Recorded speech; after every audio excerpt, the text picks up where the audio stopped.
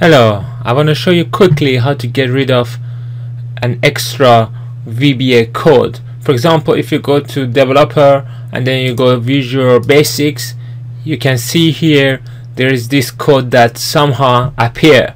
So I'm going to show you how to get rid of this. It's called funcres.xlam. It comes as an add-in. So what you got to do, just close that for now and then you go to file, go to options then you need to go to add-ins then you need to go to uh, this add-in analysis tool pack and then you need to go to go. There you just need to untick that and then click OK.